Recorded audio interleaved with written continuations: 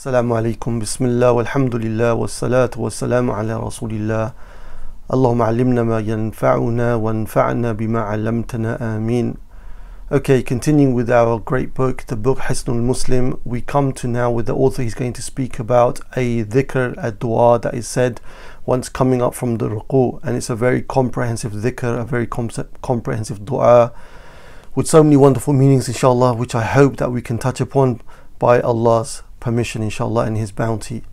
طيب, the hadith is reported by Abi Sa'id al-Khudri رضي الله عنه قال كان رسول الله صلى الله عليه وسلم إذا رفع رأسه من الركوع قال that the Prophet صلى الله عليه وسلم when he would raise his head from the ruku he would say ربنا لك الحمد and we took this before in the previous session what this means the new part is ملء السماوات والأرض وملء ما بين وملء ملء السماوات والأرض وملء ما شئت من شيء بعد أهل الثناء والمجد أحق ما قال العبد وكلنا لك العبد اللهم لا مانع لما أعطيت ولا معطي لما منعت ولا ينفع ذا الجد منك الجد So this is the dua that we're going to take inshallah. First and foremost, let's look at the wordings of the dua.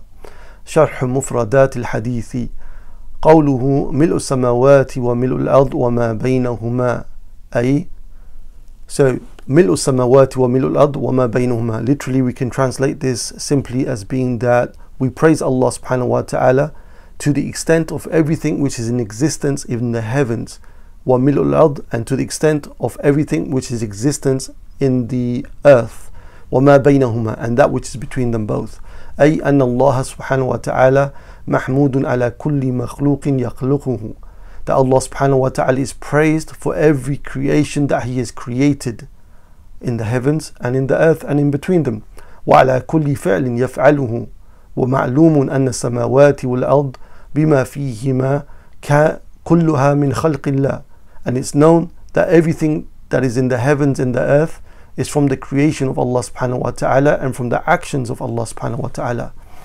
فيكون الحمد حينئذ مالئا للسماوات والأرض So the praise of Allah subhanahu wa ta'ala is completely encompassing all of this when we understand it to be in this way as mentioned by Shaykh Uthaymeen rahimahullah ta'ala in Sharh al-Mumti' So Allah subhanahu wa ta'ala is the most deserving of praise and He's praised for every creation that He creates and He's praised for every action that He does and all, and all the beautiful things in the creation and they are in their trillions. In fact, beyond that, there's probably not a number to encompass all of the creations of Allah Azza wa Jal in the heavens and in the earth and between them both. So Allah subhanahu wa ta'ala is, is, is praised and is due to be praised and worthy of praise in the most extensive of manners, in the most extensive of ways.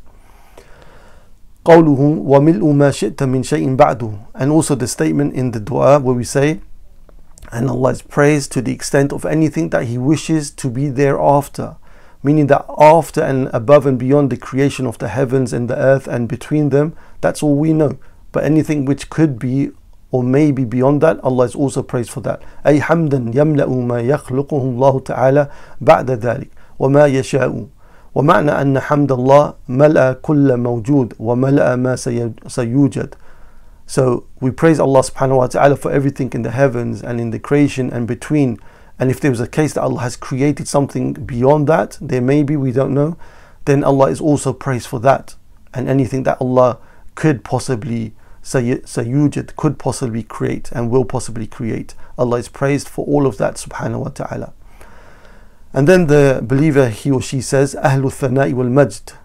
Ahlul Thana'i wal Majd, that Allah is deserving and He is encompassing and He is embodying Thana and Majd. Thana is praise and Majd we'll explain in a moment. So Thana huwa al-madhu bi kulli wasfin kamilin. That Thana, that Allah is the possessor of Thana, it is a description and it is a praise, a description and a praise of all perfect descriptions and attributes. So we praise Allah subhanahu wa ta'ala and we extol the fact that He's perfect in everything about Him, in the most perfect to, to the furthest extent of the meaning of the word perfection. Allah subhanahu wa ta'ala is that pertaining to His names, His attributes, and everything about Him subhanahu wa ta'ala. وَالْمَجْدُ هُوَ غَايَةُ الرِّفْعَةِ And majd, it is the ghaya of rif'a. Majd, the word majd, when we say أهل الثناء والمجد, Majd, it means that the furthest meaning and the most complete meaning in terms of having rifa. Rifa is being high in honor and high in esteem and high in position. Was sharaf and honor. Okay?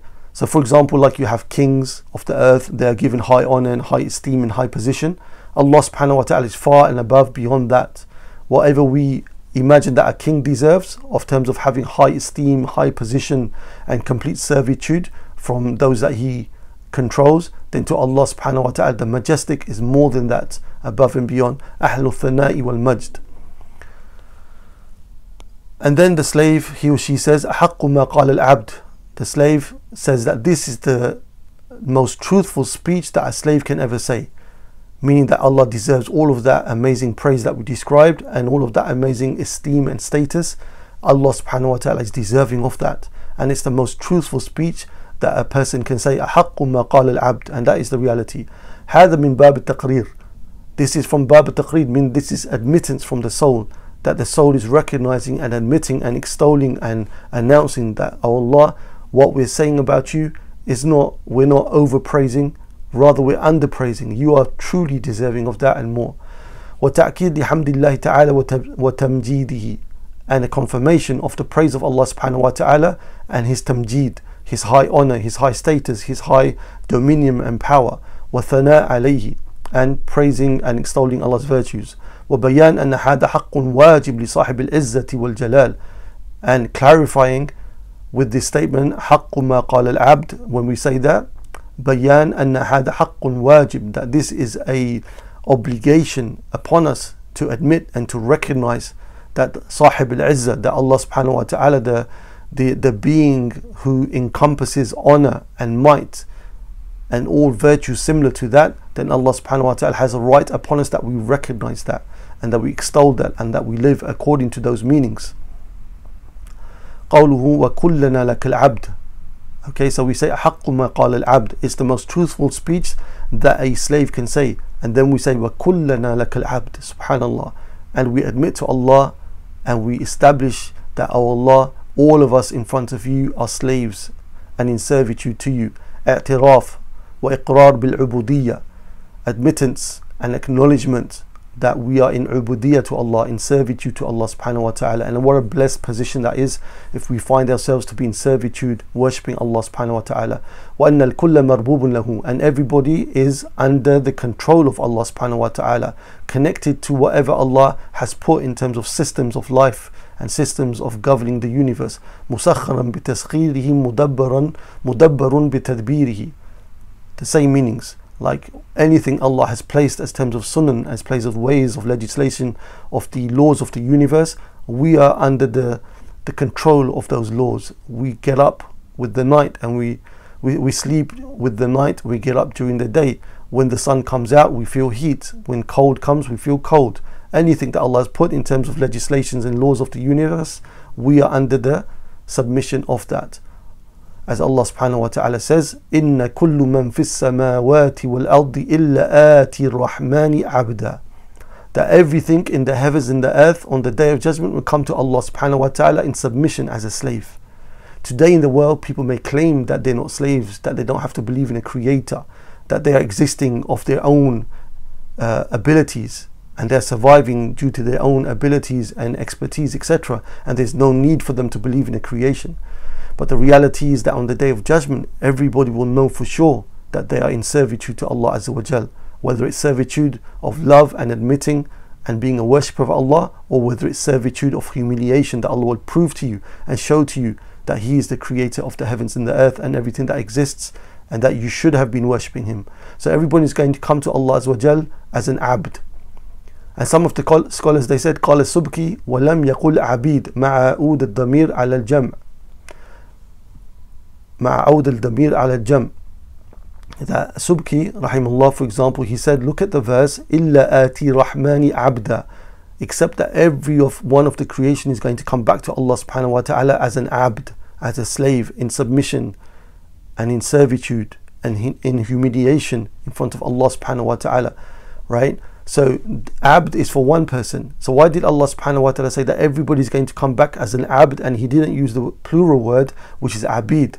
لأن القصد أن يكون الخلق أجمعون بمنزلة عبد واحد وقلب واحد because the reality is and the intent is that everybody on the day of judgment to Allah subhanahu wa ta'ala it's as though it's one person there's no difficulty with Allah subhanahu wa ta'ala speaking to all of the creation and judging all of the creation in the hereafter so don't let that come to your mind with Allah subhanahu wa ta'ala, it's as though He's speaking only to one person. It's easy for Allah subhanahu wa ta'ala and of no consequence that the creation will be in their trillions and trillions subhanahu wa ta'ala.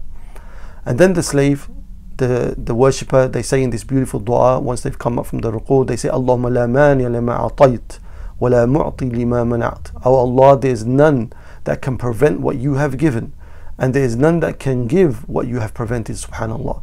So when the slave, he or she reads and ponders and worships with words like this, it gives the slave a huge amount of tranquility and hope and you know good thoughts. They don't go through life panicking. They don't go through life worrying about each situation because they know and they're positive that only that which Allah has written is going to before them and that which was not written for them it will never come to them no matter how much they bang their heads against the wall no matter how sad they were to get so the believer doesn't behave like that. Rather, the believer tries their best as much as they can to fulfill their needs and then relies upon Allah subhanahu wa ta'ala, knowing that that which is written is going to happen. Nobody can prevent that for me.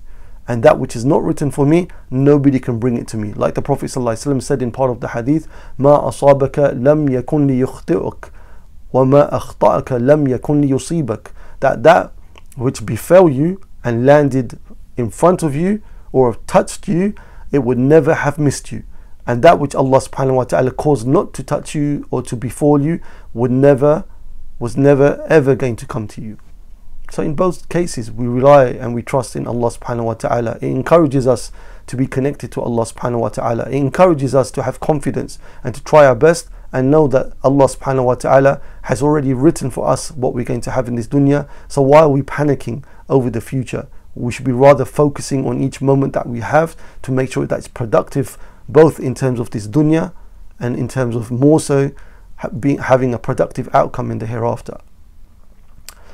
And the person says, وَلَا يَنْفَعْ ذَا الْجَدْ مِنْكَ الْجَدْ and وَلَا يَنْفَعْ ذَا الْجَدْ مِنْكَ الْجَدْ So this is quite difficult to translate, but let's go for it. الجد بفتح الجيم في اللغة بمعنى الحظ والسعادة. So this word jad it has the meaning of hadh and sa'ada. It could have the meaning of um, yani your portion of the worldly um, the worldly things that are given to people in this life. Okay, the worldly possessions and sa'ada and happiness. And it could also have the meaning of luck. But but it truly means uh, more so I think the wal hadh wa sa'ada what you are given in terms of your your worldly provisions and your happiness والمعنى أنه لن ينفع ذا الغنى والمال غناه وماله what it means is that your wealth and your richness is in of itself not going to benefit you وغير ذلك من حظوظ الدنيا and other than that from the luck and the provisions and the material provisions of this world وإنما النافع هو التقرب إلى الله but rather that which is beneficial for you is to come close to Allah subhanahu wa ta'ala through worship وإثار طاعته ومضاته على كل المحذوذ and to prefer the obedience of Allah subhanahu wa ta'ala and submission to Him above and beyond any worldly possession. So this is the reality. That that which we have in terms of materialistic means, materialistic things that we have, they in of themselves will not give us happiness. Rather, there has to be that foundation of happiness, which is our connection to Allah subhanahu wa ta'ala. If you have that foundation of happiness, you're going to be happy. And that which you are given in terms of materialistic provisions will only increase your happiness. But if they decrease the materialistic provisions, you always have that happiness which increases due to your act of worships and your submission and your seeking the pleasure of Allah subhanahu wa ta'ala. So that is the true thing that gives us contentment and true fulfillment is that you are connected to Allah subhanahu wa ta'ala you have a um, a bedrock of worshipping Allah subhanahu wa ta'ala. You have strong foundations of knowing Allah Azza wa and being and worshipping Allah subhanahu wa ta'ala. And that increases the more effort you put that brings you more happiness. And the materialistic things that you receive which are on top of that they will give you some happiness. But the true fulfillment is what comes from that worship that you have established as a foundation for you in life And that's why we see some people in life, they don't have much in terms of materialistic possessions, but they have the greatest smiles and they have the biggest smiles. Why? Because they have a true foundation, a true connection to Allah subhanahu wa ta'ala. They have their worship and they chase their worship and they find more pleasure in their worship and seeking knowledge and doing service for the Muslims and Islam. They find true pleasure in that above and beyond the materialistic possessions that other people may have. And that's a reality that nobody will find pleasure in this world like they will find the pleasure in worshipping Allah subhanahu wa ta'ala in, true, in a true manner. We ask Allah to gift us that. As many of the, uh, the, the people would say, the Salaf, the righteous, they will say, لو يعلم أبناء الملوك ما ما نجد في سعادة ما نجد من السعادة لا جالدون عليها بسيوفهم that had the sons, the princes of the kings known what we are experiencing in terms of sweetness and happiness and enjoyment through the worship that we do to Allah subhanahu wa ta'ala, they would have taken out their swords to try to extract that from us with their swords by force. But it's not gotten like that, right? It's gotten by being in servitude to Allah subhanahu wa ta'ala, by making effort in pleasing Allah subhanahu wa ta'ala and submitting to Him. That is where the true happiness comes from. I hope there was some clarity to this beautiful dua. If there was, then that was a gift from Allah subhanahu wa ta'ala. If there were mistakes, and any shortcomings, then that was from myself and shaitan. Inshallah, we will see you in the next dua, the next session, inshallah. Wassalamu alaikum wa rahmatullahi wa barakatuh.